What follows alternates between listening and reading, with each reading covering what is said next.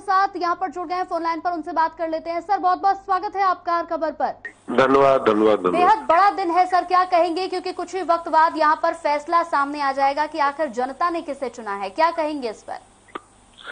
जनता जनार्दन का फैसला जो स्वीकार है और सबको स्वीकार होना चाहिए पर मैं कहता हूँ आपसे आपके चरण के माध्यम भारतीय जनता पार्टी नगर परिषद नगर पालिका के चुनाव जीतेंगे।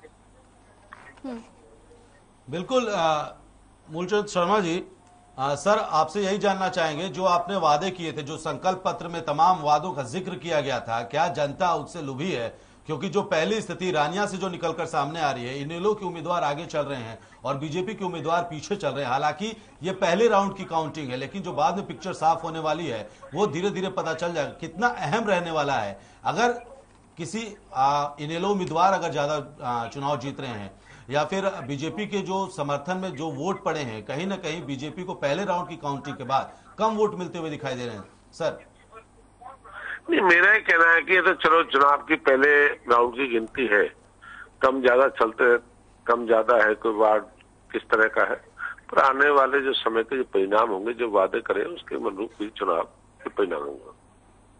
तो जनता आपको सिर आँखों में बैठा रही है सर? बिल्कुल हरियाणा के लिए प्रदेश के मुख्यमंत्री मनोहर लाल जी के नेतृत्व में ऐतिहासिक काम हुए और काम का जो विकास हुआ प्रदेश में, उसके लिए वोट मिलेंगे ठीक है। परिवहन मंत्री जी, लगातार जो जमीनी स्तर पर जो समस्याएँ रहती हैं, वो वाटर लॉगिंग बिजली, पानी, जो पेयजल हैं, निश्चित तौर पर सरकार की तरफ़ से आपने भी, खुद मुख्यमंत्री मनोहर लाल जी ने भी कई बार दावा किया है कि हमने हर घर तक पानी पहुँचाया है और कोशिश कर रहे हैं कि जिन घरों तक पानी नहीं पहुँचा है।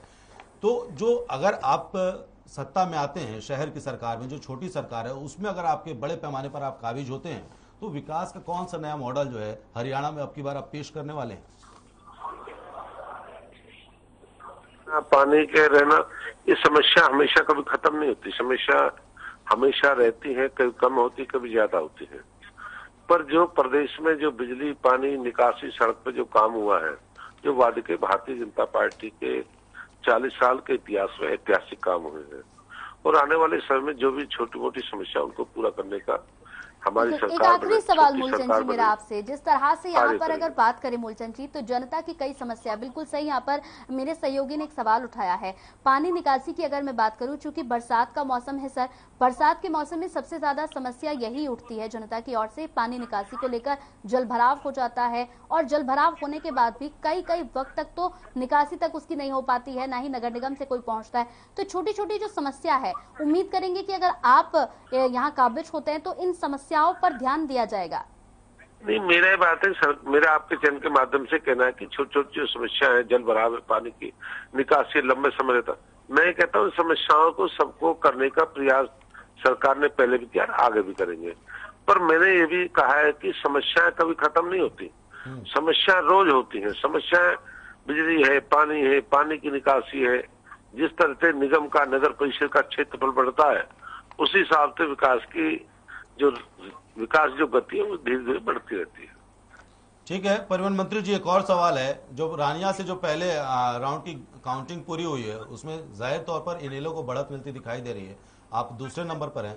लेकिन जो आम आदमी पार्टी है, जो जीत का दावा कर रही थी लगातार, कि हम नगर परिषद और नगर पालिका के चुनाव में भी झंडे गाड़ेंगे, उनके उम्मीदवार को, उनके उम्मीदवार जो है, पहले राउंड की काउंटिंग के बाद अभी पचास वोट के भी आसपास नहीं पहुँचे हैं। नहीं आप पार्टी तो आम इस आप पार्टी है जो आम पार्टी है इनका कोई लेना देना नहीं है। ये तो सब झूठ की पार्टी है मुफ़्त की पार्टी है मुफ़्त की घोषणा करने वालों।